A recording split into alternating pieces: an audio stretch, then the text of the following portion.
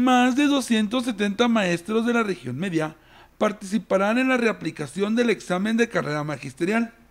En meses pasados ya lo habían presentado, pero tras los disturbios donde esta prueba confidencial salió a la luz pública, ahora los docentes tendrán que volver a presentar el examen, mencionó el subjefe de planeación y evaluación de la URCE, profesor Agustín Segura Loredo. Eh, bueno, antes que nada, buenas tardes. Eh, servidor profesor Agustín Segura, encargado de la Subjefatura de Planeación y Evaluación aquí en la Unidad Regional de Servicios Educativos.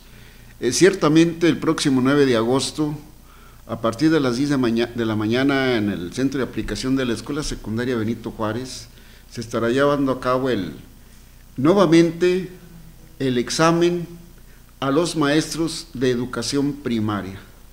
¿Por qué decimos nuevamente? Porque el examen que presentaron en su momento, en tiempo y en forma, eh, pues no se los valieron eh, precisamente por la incidencia que se presentó en algún estado de la República donde se extraviaron esos instrumentos de evaluación y es por eso que determina la autoridad federal que se vuelvan a repetir.